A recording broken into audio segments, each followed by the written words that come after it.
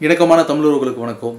நம்ம போன வீடியோவில் ஆப்பிரிக்க நாடான ஐவரி கோஸ்டோட கொக்கோ உற்பத்தி பற்றியும் அங்கே அதிகார வர்க்கத்தின் சுரண்டல்களுக்காக ஆட்படுத்தப்பட்ட குழந்தை தொழிலாளர்களின் கசப்பான கதை பற்றியும் தான் நம்ம வீடியோவில் பார்த்தோம். இன்றைக்கும் அதே மாதிரி ஆப்பிரிக்க நாடான நைஜீரியா பற்றியும் தன் தலைமுறைகளின் வாழ்வாதாரத்தை இழந்த நைஜீரியாவின் கண்ணீர் கதை பற்றி தான் இன்றைக்கி நம்ம பார்க்க போகிறோம்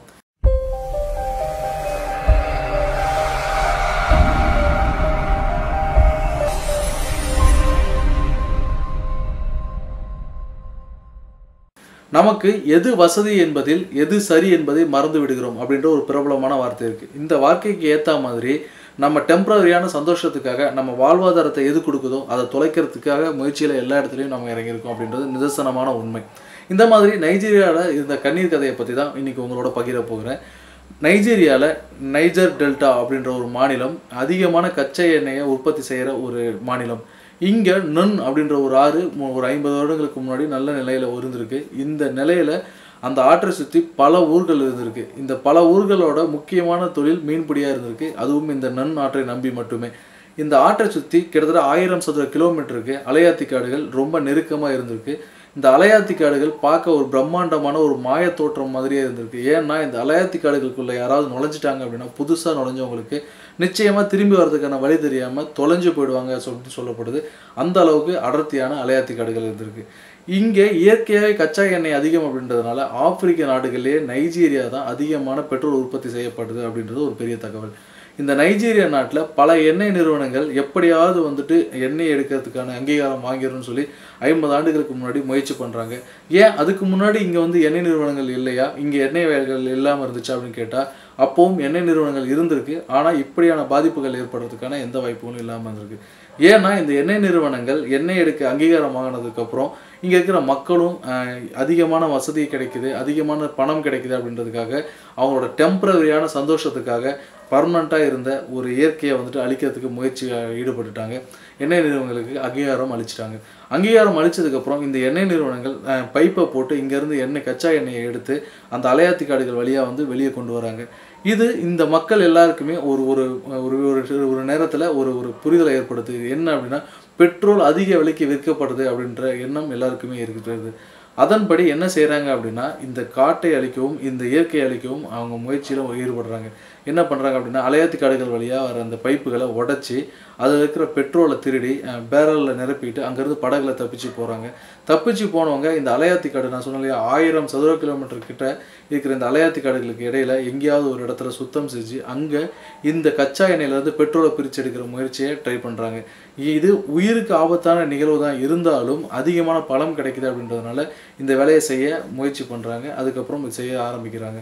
இந்த மாதிரி அலையாத்தி காடுகளுக்கு நடுவில் சுத்தம் செஞ்சு இந்த எண்ணெயை பிரிச்செடுக்கிற முயற்சியில் ஈடுபடுறாங்க.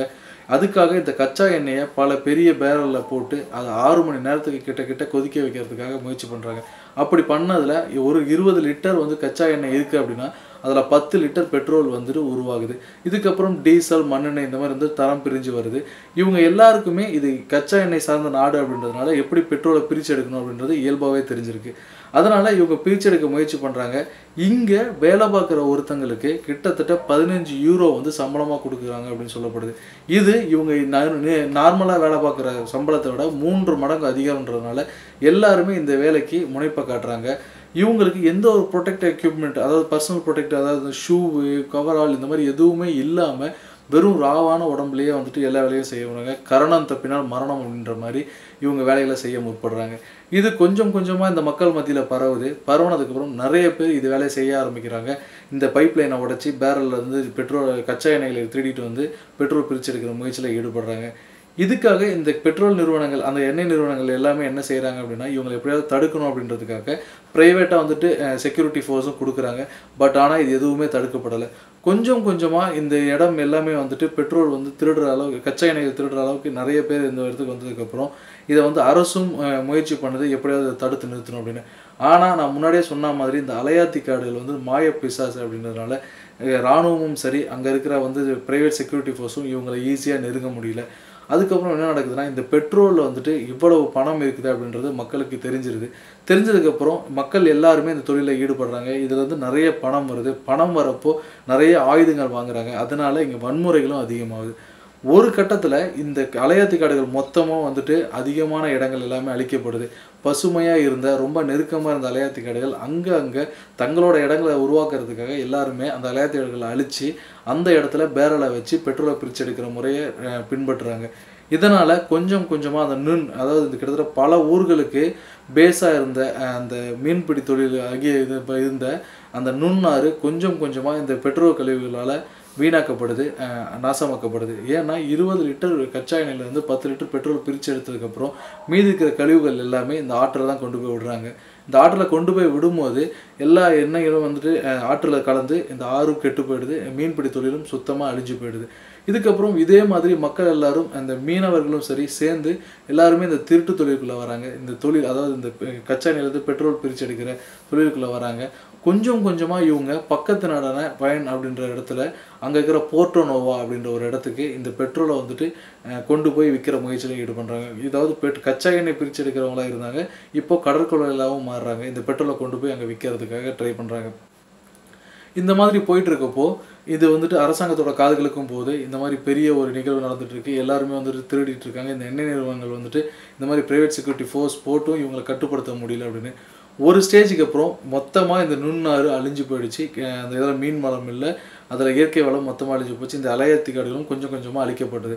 ஒரு ஸ்டேஜில் இந்த கவர்மெண்ட் வந்துட்டு ரொம்ப ஃபோர்ஸ் பண்ணி எப்படியாவது வந்து இந்த சட்டவிரோதமாக செயல்படுற இந்த பெட்ரோல் சுத்திகரிப்பு எல்லா இடங்களையும் அழிக்கணும். எல்லாத்தையும் வந்து கட்டுப்பாடுகளை கொண்டு வரணும்னு சொல்லி ரொம்ப கஷ்டப்பட்டு எப்படியோ கட்டுப்பாடுகளை கொண்டு வராங்க. ரெண்டாயிரத்தி பதினாறில் அதுக்கப்புறம் என்ன நடக்குது அப்படின்னா ஏற்கனவே வந்து இந்த மீன்பிடி தொழில் தான் வந்து நமக்கு பேஸாக இருந்துச்சு அப்படின்னு நினச்ச மக்களுக்கு இன்னைக்கு இயற்கையை வந்து அந்த மீன்பிடி தொழிலும் இல்லாமல் போன அளவுக்கு இவங்க வந்துட்டு இயற்கையை அழித்து எல்லாத்தையும் கொண்டு வந்து போட்டாங்க. இப்போது என்ன நடந்துச்சு அப்படின்னா இவங்களுக்கு இயற்கைக்கு திரும்ப பழைய நிலைக்கும் மாற முடியல.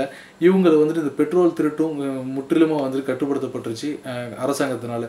இப்போ இவங்களுக்கு வாழ்வாதாரம் என்ன செய்யப்படுறதுனே தெரியல. இவங்க எப்படி பிழைக்க போகிறாங்க அப்படின்றதே தெரியல. இவங்களோட தலைமுறைகள் அடுத்த தலைமுறைகளை வெறும் ஐம்பது ஆண்டுக்குள்ளே அழிச்ச பெருமை இந்த நைஜீரியா மக்களே சேரும். இதே மாதிரி இந்த இந்த வீடியோவை நான் பேசும்போது நிச்சயமாக உங்களுக்கு ஒரு விஷயம் புரிஞ்சிருக்கும். இதே மாதிரி நம்ம தேசத்துலேயும் பல விஷயங்கள் நடந்துகிட்ருக்கு அதுக்காக தான் இந்த வீடியோவை சொல்லணும்னு நினச்சேன். நைஜீரியா இன்னைக்கு எப்படி வந்துட்டு தன்னோட இயற்கை வளத்தை நுண்ணாற்றை அழிச்சிட்டு வெறும் ஐம்பது ஆண்டு காலத்தில் அடுத்த தலைமுறைக்கு எதுவுமே இல்லாமல் ஆக்குச்சோ அதே மாதிரி அடுத்த தலைமுறைகளுக்கு எதுவுமே இல்லாமல் நம்மளும் ஆக்கிடக்கூடாது. நம்ம இயற்கை வளங்களை பாதுகாத்து நம்மளோட அடுத்த சந்ததிக்கு அதை பத்திரமா கொண்டு போய் கொடுக்க வேண்டியது நம்மளோட கடமை. அதை மட்டும் விட்டுட்டு நம்மளோட டெம்பரவரியான லைஃப்க்காக டெம்பரவரியான சந்தோஷத்துக்காக எல்லா தப்பான விஷயங்களையும் நம்ம தேசத்துக்குள்ளே நுழைய விட்டு அதுக்கப்புறம் நான் இதை இப்போ ஓப்பனாக சொல்ல முடியாது. நிறைய விஷயங்கள் இந்த அணுக்கழிவு மையம் மாதிரி ஹைட்ரோ கார்பன் மாதிரி பல விஷயங்களை நம்ம தேசத்துக்குள்ளே நுழைய விட்டுட்டு அதுக்கப்புறம் நம்மளோட தலைமுறைகள் அழிய போகிறதுக்கு நம்மளே காரணமாக இருக்கிறது மிகப்பெரிய தவறு. அதை முன்னாடியே வந்துட்டு இந்த ப்ரிகாஷனரி ஆக்ஷன் சொல்லுவாங்க. முன்னாடியே வந்துட்டு முன்னாடி த தவறு நடக்கிறதுக்கு முன்னாடியே நம்ம அதை திருத்திக்கிறதுக்கான வாய்ப்புகளை பயன்படுத்தி நம்மளோட தலைமுறைகளை பாதுகாக்க வேண்டியது நம்மளோட கடமை. சுத்தமான சுகாதாரமான அடுத்த பூமியை நம்மளோட பூமியை அடுத்த தலைமுறைக்கு கொடுக்க வேண்டியது நம்மளோட கடமை நம்மளோட ஒவ்வொருத்தரோட கடமை. அந்த கடமையை செய்யணும் அப்படின்னா நம்ம இயற்கை அழியாமல் நம்ம பாதுகாத்துக்கணும். இன்னொரு நல்ல வீடியோவோட உங்களை நான் மீட் பண்ணுறேன் நன்றி.